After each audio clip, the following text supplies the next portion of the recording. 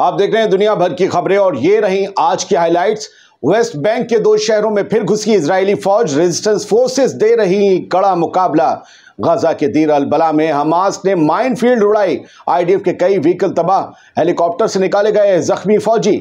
सबक इसराइली वज़ीर का दावा, हमने नॉर्थ इसराइल को गवाया। इसराइली मीडिया में चर्चा तेज। रीजनल वॉर के लिए फौज नहीं है तैयार। ईरान के नए सदर मसूद पेजिशकियान ने मुस्लिमों से की एकजुट होने की अपील इसराइल और वेस्ट से मुकाबला करने का किया मुतालबा। हमास ने किया साफ़ सीज फायर की नई शर्तें किसी भी हाल में कबूल नहीं। तुर्की और रूस ने सीरिया में फिर से की पेट्रोलिंग शुरू इसराइली हमले में कई सीरियन जख्मी। और यूक्रेन ने मनाया अपना यौम आज़ादी रूस यूक्रेन के बीच हुई 230 फौजी कैदियों की अदला बदली आज़ाद बोल इंडिया में आपका खैर मकदम है। आपके साथ में आदिल खान आज़ाद। आज है 24 अगस्त 2024 और आप देख रहे हैं रात 10 बजे का स्पेशल शो दुनिया भर की खबरें। तो चलिए शुरू करते हैं। दुनिया भर की खबरों का ये सफ़र तफसील से। सबसे पहली खबर, गजा के वेस्ट बैंक से आ रही है, जहाँ पर दो शहरों में एक बार फिर से इसराइली फ़ौज घुसी। कल वहाँ से खदेड़ा गया था, ये मैंने खबर आपको दी थी, ख़ासतौर से नाबलुस से। लेकिन आज नाबलुस के अलावा कल किलिया या कल किलिया ये जो दो शहर हैं वेस्ट बैंक के, वहाँ पर इसराइली फ़ौज फिर से घुसी और वहाँ पर उन्होंने कहा कि यहाँ पर रेजिस्टेंस फोर्सेस के वो लड़ाके हैं जिनको हमें न्यूट्रलाइज करना है। उन्हीं रेजिस्टेंस फोर्सेस के लड़ाकों ने इसराइली फ़ौज को ज़बरदस्त तरीके से मुकाबला दिया और कई देर तक, घंटों तक फायरिंग चलती रही। ये फायरिंग अब भी जारी है, बताया जा रहा है। ऑपरेशन जारी है इसराइली फ़ौज का। एक शख्स के ज़ख्मी होने की खबर है, जिसके पैर में गोली लगी है। वेस्ट बैंक में भी इसराइल की कार्रवाई तेज़ होती चली जा रही है। लेकिन वो रेजिस्टेंस फोर्स के लड़ाके जो वहाँ अब तक खामोश बैठे थे, वो हर गुजरते दिन के साथ अब और ज़्यादा एग्रेसिव होते जा रहे हैं और इसराइली फोर्सेस का डट कर मुकाबला कर रहे हैं। अब दूसरी खबर, गजा के जंग के मैदान से जहाँ पर गढ़ा लगाकर फील्डिंग लगाकर, हमास की अलकसाम ब्रिगेड के लड़ाकों ने एक इजरायली फौज के काफिले को निशाना बनाने का दावा किया है और ये फ़ोटो भी जारी हुआ है, जिसमें मिलिट्री व्हीकल दिख रहा है बुलडोजर दिख रहा है, इसके पीछे और इसके आगे और मिलिट्री व्हीकल्स थे। बताया गया है कि हमास की अलकसाम ब्रिगेड ने यहाँ पर माइन फ़ील्ड, वो जो बारूदी सुरंग होती है या बारूदी ज़मीन होती है पूरी, वो बिछा दी माइंस, बिछी हुई थी, ज़मीन में गड़ी हुई थी और डेटोनेट कर दिया गया उसको हमास की तरफ़ से और इसमें कई इसराइली व्हीकल्स उड़ गए, तबाह हो गए, उनके परखच्चे उड़ गए, ये दावा किया गया और बड़ी तादाद में इसराइली फ़ौजी ज़ख्मी हुए हैं। वो बड़ी तादाद क्या है नहीं पता, ये एक दिन बाद ही खुलता है जब इसराइल से कुछ खबर बाहर लीक होती है। लेकिन हेलीकॉप्टर से इन सभी जख्मी फौजियों को इसराइल के अस्पतालों में ले जाया गया। ये अलमादीन की खबर बताती है। ये बताया गया the Palestinian resistance dealt for the blows to the occupation forces during confrontation in the Gaza Strip, particularly in Dir al-Bala. Dir al-Bala और गज़ा के बाकी हिस्सों में बहुत कड़ा मुकाबला रेजिस्टेंस फोर्सेस और इसराइली फ़ौज के बीच हुआ और ये बताया गया कि आज जंग का तीन सौ दिन है और अलगसा फ्लड जो है वो मिशन जारी है। दीर अल-बला जो कि सेंट्रल गजा स्ट्रिप में है, वहाँ पर कड़ा मुकाबला हुआ। यहाँ पर एक माइन को उड़ा दिया टारगेटिंग मल्टीपल इसराइली व्हीकल्स जिसमें कई इसराइली व्हीकल्स को टारगेट किया गया। ये आप देख रहे हैं, लिखा हुआ है। तो फ़िलहाल ये इंजीनियरिंग इक्विपमेंट्स भी थे इसमें, शामिल इजरायली फ़ौज के जो निशाना बनाए गए हैं। और 105 आरपीजी शेल से भी इन्हें निशाना बनाया गया माइनफील्ड से भी निशाना बनाया गया। कई तरीके से घेर कर इन पर गोलीबारी की गई। बढ़ते हैं आगे। एक एक्स मिनिस्टर हैं इसराइल के। उन्होंने ये बात कही है कि Israel lost war in north to Hezbollah Hezbollah से नॉर्थ में इसराइल जंग हार गया है। इसराइल ने अपने नॉर्थ को गवा दिया है। और ये आज 24 अगस्त की खबर प्रेस टीवी ईरान में छपी हुई है।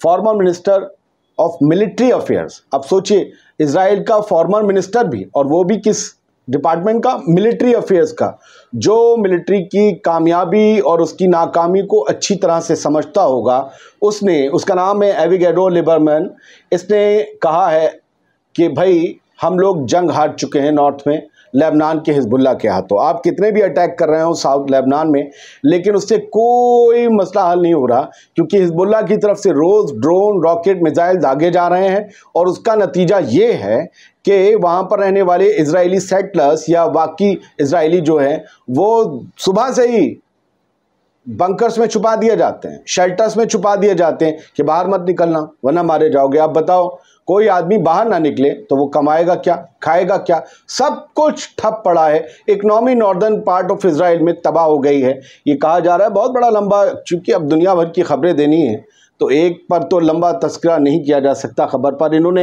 एक्स पर यह बयान लिखा है। उन्होंने कहा है कि हंड्रेड्स ऑफ़ रॉकेट और ड्रोन अब तक हिजबुल्ला दाग चुका है। और हमने क्या किया? हमने क्या उखाड़ लिया? भुट्टे? नहीं। तो आप बताइए, हम कैसे जीतेंगे? स्कूल खुल नहीं रहे, दुकानें स्टोर स्टोर बंद पड़े हैं, सब कुछ तबाह है। हमने नॉर्थ को गवा दिया है। करंट रिपोर्ट ने खबर दी है, और इसमें तीन लोगों का फ़ोटो है, तीनों इसराइली हैं, फौज से जुड़े हुए हैं। कर्नल यारोन बुस्किला इसमें शख्स है, जो बीच में, इसने क्या कहा था? कि हमें हिजबुल्ला को मज़ा चखाने के लिए या हिजबुल्ला को नकेल डालने के लिए या हिजबुल्ला को कंट्रोल करने के लिए साउथ लेबनान के रिहायशी इलाकों को निशाना बनाना चाहिए। इन भाई साहब ने पहले कहा था। अब ये क्या कह रहे हैं? हिजबुल्ला पर प्रेशर बनाने के लिए ये रिहायशी इलाकों पर, यानी सिविलियंस को निशाना बनाने की बात कर रहे थे, मुतालबा किया था इन्होंने। अब इन्होंने ये कहा है, करंट रिपोर्ट के मुताबिक, करंट रिपोर्ट ने दावा किया और ये बाकायदा बयान अखबार में ही होगा, तभी इन्होंने लिखा है कि इन्होंने ये कहा है कि I do not see a future where residence of the north can return to their homes इन्होंने कहा कि मैं ये नहीं समझ पा रहा, नहीं देख पा रहा कि फ्यूचर में कभी नॉर्थ के रेजिडेंस यानी नॉर्दर्न इसराइल में रहने वाले यहूदी सेटलर्स कभी अपने घरों को वापस लौट पाएँगे या नहीं लौट पाएँगे। यानी इसराइल के सेटलमेंट सूने हो जाएँगे। और ये लेबनान के सदन पार्ट को उजाड़ने की बात कर रहे थे, ख्वाब देख रहे थे। बढ़ते हैं आगे sir. We are not prepared for regional war Israeli media का ये कहना है, ये चर्चा तेज है अलमादीन की हेडलाइन है। और ये लोग चूँकि हैब्रू पढ़ते रहते हैं तो वहाँ के लोकल वगैरह भी अखबार और सब कान और न्यूज़ चैनल्स पे नज़र रखते होंगे। तो इसराइली मीडिया में इस वक्त ये चुका है, ये चर्चा है कि हम लोग एक रीजनल वॉर के लिए तैयार नहीं हैं रेडी ही नहीं है, क्योंकि हमारी फ़ौज इसके लिए रेडी नहीं है। क्योंकि जहाँ वो जंग लड़ रही है, वहीं फंसी हुई है। वहाँ अभी तक कोई अचीवमेंट आईडीएफ के हाथों लगा नहीं है। ना हॉस्टेजेस हासिल हुए, ना हमास का खात्मा हुआ, ना बाकी रेजिस्टेंस मूवमेंट को कंट्रोल कर पाए। रोज़ हमारे फौजी मारे जा रहे हैं, रोज़ ज़ख्मी हो रहे हैं। और अब तो हॉस्टेजेस भी मरे हुए मिलने लगे हैं। तो हम जब वहाँ नहीं जीत पाए, ग्यारहवा महीना लग गया तो हम हिजबुल्ला जो कि हमास से बहुत मज़बूत है, उसे कैसे जीत पाएँगे? हमास के बाद यमन के हाउथी से और ईरान ने हमला कर दिया तो एक रीजनल वॉर की सूरत। तो ये कहा गया कि क्या हम चार मोर्चों पर लड़ने के लिए तैयार हो? फिर सीरिया और इराक छः मोर्चे टोटल क्या हम तैयार हैं? नहीं, हम एक रीजनल वॉर के लिए तैयार है ही नहीं। क्योंकि कितना भी ताकतवर, इतना सा मुल्क है इसराइल बहुत से लोग कहते हैं इसराइल मुल्क नहीं नहीं है यार, तस्लीम कर लो। क्योंकि भले वो ला के यहाँ बसाए गए हो, यूएन तो मानता है ना, आप नहीं मानते। लेकिन टेक्निकली बात करोगे तो वो एक मुल्क है, लेकिन हाँ ऐसा मुल्क है जो विस्तारवादी है। रोज़ फ़लस्तीनियों की ज़मीन कब्जा कर अपना नक्शा बढ़ाता जा रहा है, जो मंजूर नहीं किया जा सकता, जो कि नाजायज़ है। ठीक है। प्रेस टीवी ईरान की हेडलाइन देख लीजिए। मसूद पेजिशकियान, जो ताज़ा ताज़ा सदर बने हैं ईरान के, उन्होंने सीधा ऐलान किया है और मुतालबा किया है पूरे मुस्लिम उम्मा से। पूरे मुस्लिम ममालिकों से और मुस्लिमों से कि एक हो जाइए। एक हो जाइए, ये वक्त एक होने का है। अपने अख्तलाफात मिटा दीजिए। अपनी तमाम शिकायतों को ख़त्म कर दीजिए। क्योंकि ये वक्त मिलकर इसराइल और वेस्ट से लड़ने का है, ये ईरान के राष्ट्रपति का मुतालबा है। उन्होंने तमाम मुस्लिमों से यूनाइट होकर इसराइल और वेस्ट को काउंटर करने को कहा है। उन्होंने कहा है कि ये ये लोग मुसलमानों के और मुस्लिम ममालिक के दुश्मन हैं।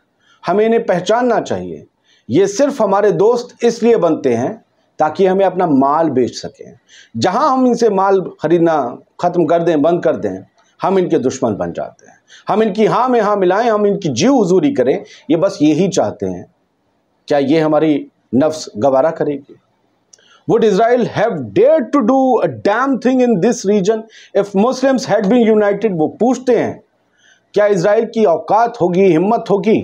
क्या कुत होगी इतनी कि वो ये सब कुछ कर ले? गज़ा में जो कर रहा है क्या वो तब कर सकता जब तमाम मुस्लिम ममालिक एक हो होते? एक आवाज़ में बोलते नहीं। मुसलमानों में बिखराव है इसलिए इसराइल जो चाह रहा है कर रहा है। बढ़ते हैं आगे सर। अलमादीन की एक headline Hamas refuses IOF control over Philadelphi Netzarim corridors Rafah Hamas ने और ये आ, जो उसामा हमदान हैं ये यूँ समझिए कि लेबनान में हमास के सबसे बड़े लीडर हैं, वहाँ से भी ऑपरेट होता है। हमास ने सीधा रिफ्यूज़ कर दिया है इसराइल की फोर्स का वो प्रपोज़ल, जिसमें ये कहा गया था कि फिलेडेल्फी कॉरिडोर, नेटजैरम कॉरिडोर, जो गज़ा को दो भागों में बांटता है, दो हिस्सों में, और फिलेडेल्फी, इजिप्ट और गज़ा की सरहद वाला कॉरिडोर, गलियारा, वो दोनों कॉरिडोर और इवन रफ़ा हमारे कंट्रोल में रहेंगे। आईडीएफ ने कहा था। तो हमास ने कहा अच्छा ये करने के लिए हमने जंग लड़ी तुमसे।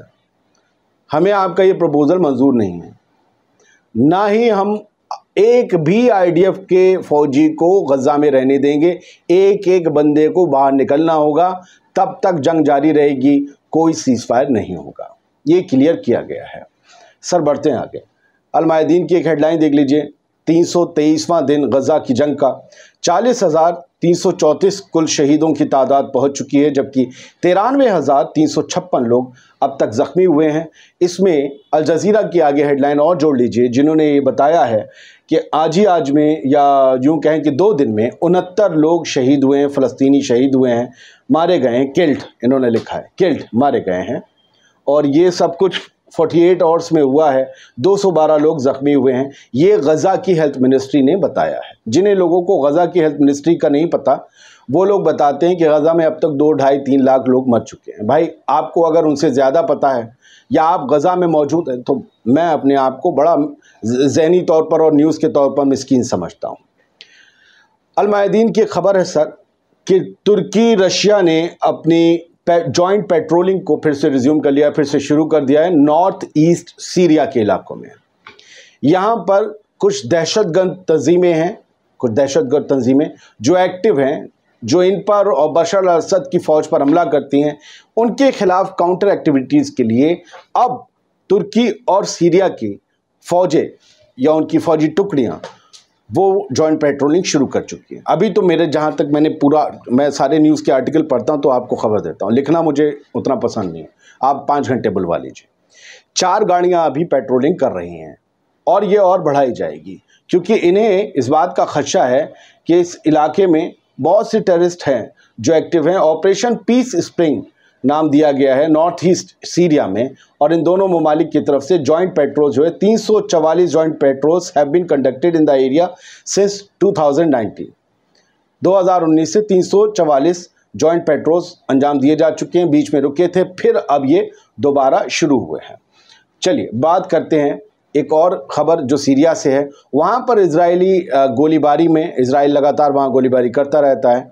बहुत से इलाके उसने सीरिया के भी कब्जाए हुए हैं, सभी को पता है।